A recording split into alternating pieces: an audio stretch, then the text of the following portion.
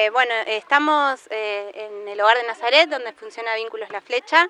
Eh, hoy organizamos en el marco del Día del Niño y del, Mes del Niño, para culminar, digamos, lo que son los centros, los cuatro centros que están funcionando acá en San Javier. Los CCI ya festejaron el Día del Niño mm, el fin de semana pasado. y bueno, hoy estamos con los dos centros vínculos de Barrio El Once y de Barrio La Flecha.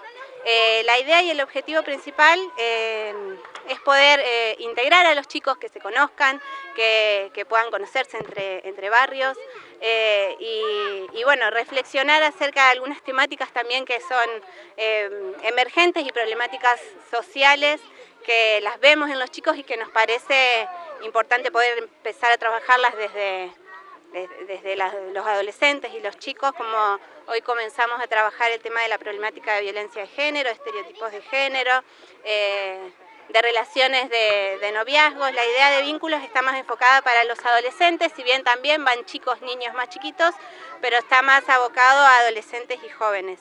Eh, y bueno, un encuentro también recreativo y deportivo, los chicos estuvieron jugando al vóley, eh, los más chiquitos también haciendo actividades recreativas, así que una muy linda jornada a pesar del día, está, la estamos pasando muy bien. Bueno, contanos un poco sobre los, eh, las personas que te acompañan en este, en este encuentro. Bueno, eh, yo soy Lelia de Córdoba, soy la coordinadora de Barrio eh, El 11, de Vínculos Barrio El 11. Gise es la coordinadora de, acá, de Barrio La Flecha, Laura es la coordinadora general y bueno, Lucila es también la coordinadora general y secretaria de Acción Social. Y después estamos con los chicos, todos los talleristas, que somos un, gran equipo, son muchos.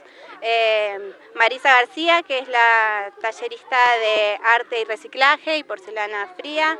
Eh, Leo Sosa, que es el profe de deportes de Barrio El 11. Eh, Daniela Palacios, que está dando el taller de alfabetización. Eh, María Chamorro, que da un taller de costura, y bueno, le dejo a Gise que presente a sus talleristas también. Esta semana este, también recibieron un importante aporte para seguir trabajando con, vínculos, ¿no? Eh, sí, eh, esta semana recibimos el aporte para este programa, que bueno, estaba un poquito demorado, así que bueno, ese aporte que se recibió es para cubrir eh, todas las necesidades del programa durante estos cuatro meses que va, que va a funcionar el programa. O sea que el monto que se recibió es el total del, programa Vínculos, que lo vamos a distribuir en estos cuatro meses de trabajo. El municipio ha venido eh, afrontando, los gastos, eh, porque hace dos meses que arrancamos con el programa y bueno, vamos a cubrir esos gastos y, también para cubrir los honorarios de los talleristas, de los coordinadores y bueno, y todos los insumos, insumos de los talleres y, el y la merienda de los chicos. Bueno, Gisela, contanos un poco sobre el, funcionamiento de vínculos aquí en el, hogar. Bueno, como decía Leila, yo soy la coordinadora del Centro Vínculos acá de La Flecha.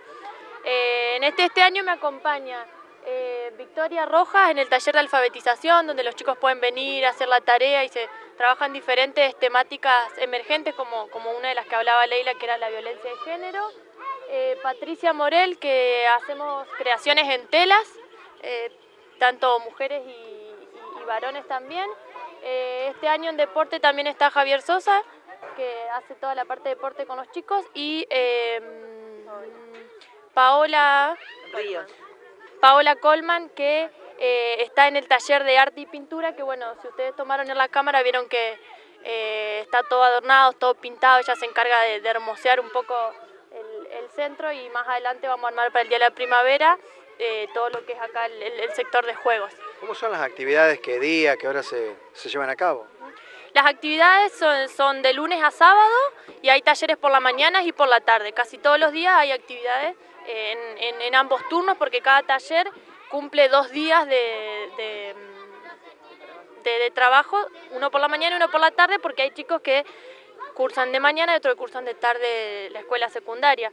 Y bueno, este año arrancamos con, con, varios chicos, eh, muchos adolescentes tenemos en, en, este barrio y que lo ideal porque el programa Vínculos es, eh, trabaja con, con los adolescentes con la prevención del delito social y la violencia. ¿Se pueden sumar todavía chicos? Sí, sí, todavía se pueden sumar a los talleres, pueden venir en el, en el horario que ellos quieran, siempre dejamos acá afuera un cartel con, con los talleres para que pasen y, se vayan sumando. Y sí, los esperamos a todos, no hay problema. Qué lindo desafío, Laura, esto de poder integrar a los dos talleres de los dos sectores importantes y muy populosos de la ciudad. Sí, la verdad que, o sea, ese era nuestro objetivo, por eso las actividades que se plantean hoy son todas actividades de integración. Eh, el encuentro, más allá de que se enmarca dentro de los festejos del Día del Niño, tiene un objetivo que tiene que ver con, los objetivos del programa en sí. Em, yo le quería agradecer a los medios de comunicación porque siempre nos han acompañado y esta no es la excepción, a la Municipalidad de San Javier eh, y sobre todo a todos los talleristas y a los coordinadores de cada uno de los centros porque como ustedes ven las cosas hermosas que hicieron hoy lo hicieron todos para los chicos y trabajan con mucho compromiso para los programas. Eh, sí, déjame este, agradecer al padre Sergio que lo habíamos invitado hoy a que venga a compartir con nosotros un rato porque gracias a,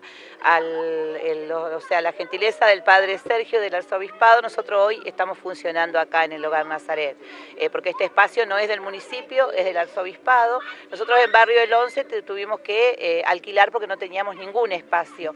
Acá, gracias a que el padre Sergio nos cedió este lugar, nosotros hoy podemos funcionar. Este, estamos esperando firmar la renovación del comodato que todavía no ha llegado, pero a pesar de, ese motivo que no teníamos la, firma del convenio, el padre igual nos dejó seguir estando acá en el hogar, este, así que bueno, también eh, aprovechamos esta oportunidad para hacer público el agradecimiento eh, al padre Sergio eh, y a toda la gente de la, parroquia que nos ha cedido el espacio, que también fue ocupado en épocas de inundación. Así que bueno, yo creo que, vale el agradecimiento porque también es una, manera de trabajar en de trabajar con otras instituciones y acá nosotros estamos trabajando de esa manera. Fue una producción de Gigacom